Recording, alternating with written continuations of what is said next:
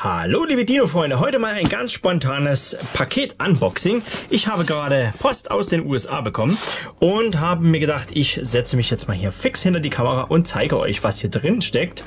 Ich hatte ursprünglich etwas ganz, ganz anderes bestellt, das kam auch an und der Verkäufer hat mir etwas Falsches geschickt und ja, ich habe ihn über Ebay angeschrieben und er hat mir gesagt, okay, kein Problem, ähm, du kriegst dein Geld zurück oder ich schicke dir was anderes weil er es ähm, verwechselt hatte. Und in dem Fall habe ich mich für andere Figuren entschieden.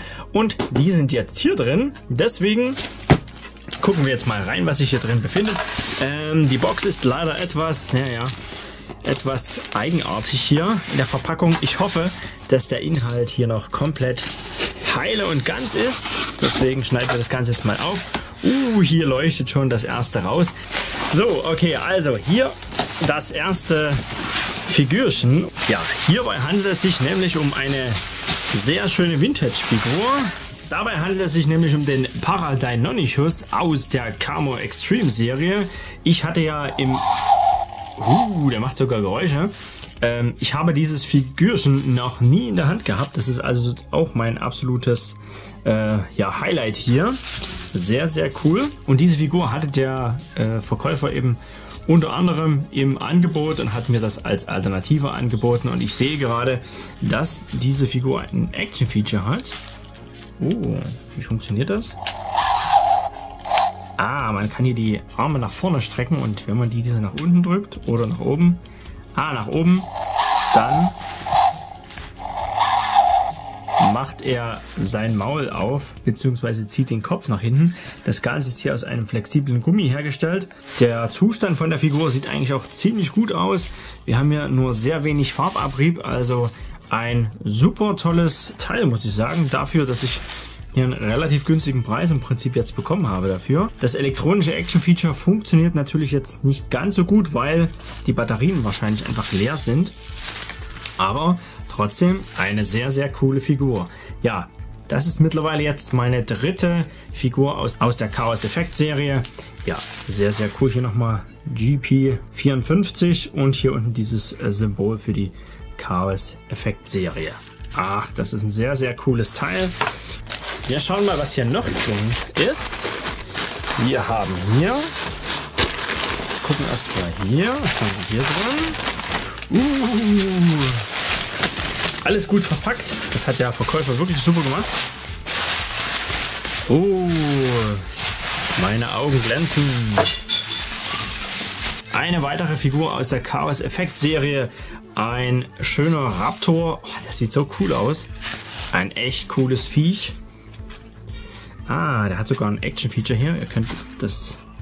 Man kann hier den vorderen Arm oder den. Ah, hier. Sehr cool. Ich wusste gar nicht, dass das elektronische Dinosaurier sind. Sehr, sehr cool. Und der Zustand ist auch ziemlich gut. Wir haben hier kaum Farbabrieb. Sowohl an den am Kopf als auch an den Klauen. Das sieht richtig gut aus. Also der Zustand ist echt nicht schlecht. Bei diesem ähm, Raptor handelt es sich um den Velociraptorix. Das ist quasi auch ein Hybride für alle ja, Jurassic World Kritiker nochmal. Denn das sind übrigens schon die ersten Hybrid-Dinosaurier von Kenner damals gewesen, die sich Kenner ausgedacht hat.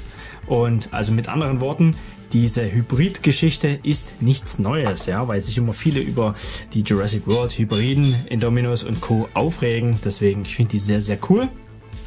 Der Velociraptorix ist eine Mischung aus dem Velociraptor und dem Archaeopteryx, also quasi beides Raptoren-ähnliche Tiere. Ach, sieht der nicht cool aus? Ich finde, der sieht total scharf aus. Und der hat hier sogar einen beweglichen bzw. einen gummiartigen Schwanz. Auch hier die Federn oder diese Federfortsätze an den Klauen sind ebenfalls so gummiartig. Sehr, sehr cool. Der Velociraptorix und dieser besteht übrigens aus dem Parasaurolophus und einem Raptor beziehungsweise einem Deinonychus. Übrigens hat er hier eine Battle Damage äh, Beschädigung hinten dran, habe ich ganz vergessen. Wir stellen ihn mal etwas weiter hinter, gucken wir mal rein, was sich hier noch drin befindet. Hier haben wir ebenfalls ein eingepacktes Tierchen. Uhuhu. Und was sehen wir hier? Schon wieder grelle Farben. Das deutet doch ebenfalls auf einen Dinosaurier aus dieser Toyline hin, nämlich ebenfalls ein... Okay, der ist etwas stärker bespielt, sehe ich gerade. Hier gibt es etwas mehr Farbabrieb. Aber auch diese Figur gehört zu dieser Serie dazu. In dem Fall soll das der Tyrannonops sein. Ein crazy Name. Und zwar ist es die Mischung aus dem Tyrannosaurus und dem Lichianops. Im Prinzip ist das eigentlich nur ein Repaint gewesen von einer Figur, die es bereits schon 93 gab. Aber hier hat man ihn sozusagen nochmal wiederverwendet. Also nicht nur Mattel hat die Figuren recycelt, sondern eben auch schon Kenner. So viel dazu. Und jetzt haben wir hier noch die letzte Figur aus diesem Set. Und in dem Fall handelt es sich hierbei um diese Figur. Nämlich ebenfalls eine weitere Figur aus der Chaos Effekt Serie. Boah, der sieht ziemlich cool aus. Ähm, das sind alles Figuren aus dieser Chaos Effekt Serie die es übrigens bei uns in Deutschland meines Erachtens nach nicht gab. Also die gab es ausschließlich in den USA. Bei dieser Figur handelt es sich um den Amarga Spinos. Das ist quasi ebenfalls ein Hybride aus dem Amargasaurus und dem Spinosaurus. Jetzt muss ich erst mal gucken, wie hier das Action-Feature funktioniert. Ah, hier, wenn wir das Bein hinten hochziehen. Also er macht hier die Feder nach oben und dann werden, wird auch das Maul geöffnet. Sehr, sehr cool. Ebenfalls wird hier dieser Kragen aufgestellt.